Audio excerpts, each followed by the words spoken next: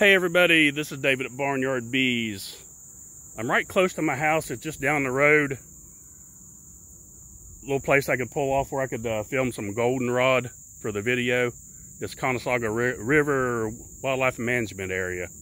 And uh, there's trails out there here where you can walk out and go hunting. But uh, what I want to talk about today is your overwinter stores for your bees and the goldenrod. Now, goldenrod in our area is just starting to come up good.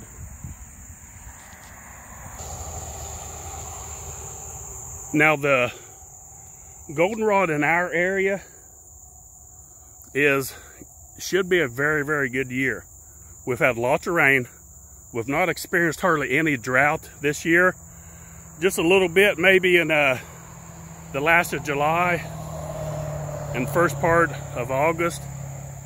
And today is August 28th. And the mosquitoes here, I had to stop for a second. They are horrible. I guess close to this river, they're coming up here and they're really, really bad. So, what I want to do, and I do this every year, is I try to get people to comment and write, let me know in your area how the goldenrod is doing. It kind of gives everybody a heads up and tell me how well it's doing, if it's going to be a good year or not for the goldenrod. Uh, I know for sure that ours is going to be really good because of the amount of rain that we've had. So there's, it's not going to be uh, dry for sure. So it's looking really, really good for us here in North Georgia as far as the goldenrod. It's just really beginning to pop up.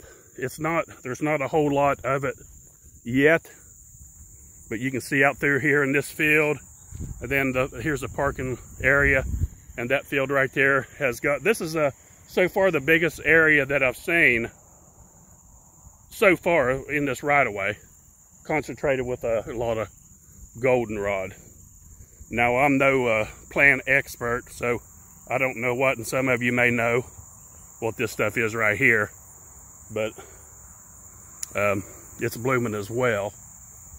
So, what you need to do is, that's why I'm saying it's very important. Goldenrod is very, very important because it's going to dictate, it's your last flow of the year.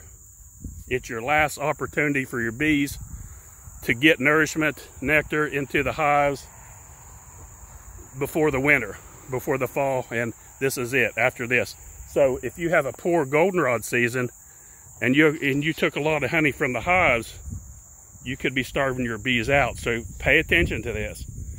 And when the goldenrod season is in and you're not getting a good flow, you need to start uh, feeding the sugar water to your bees and uh, very important. So, so everybody please comment, and it gives everybody a chance to go into the comments and read what's going on in your area and all over the country. I'm having to stay on the move because these mosquitoes are that bad. I stopped and put a little bit of hand sanitizer on me because I thought I had some uh, spray in there, but I couldn't find it, so I, I must have left it somewhere. But I'm just kind of walking around and kind of keeping them away from it a little bit. So this little field here has quite a bit. The river is actually that direction, so it just, uh, and this floods right here. When they get a lot of water, this is just covered up in water, in uh, flood water. So remember that.